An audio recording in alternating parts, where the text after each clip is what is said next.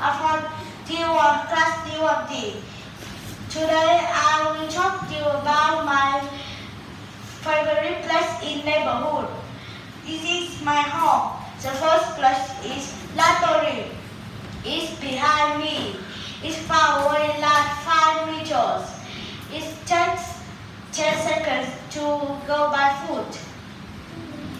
And it has much and my favorite book is this is Dragon Ball. I go in this. The second place is restaurant. This next to my home is away like seven seven or eight meters. It's just 12, 12 or more seconds to go by foot. The third place is supermarket. I go to there to buy some food.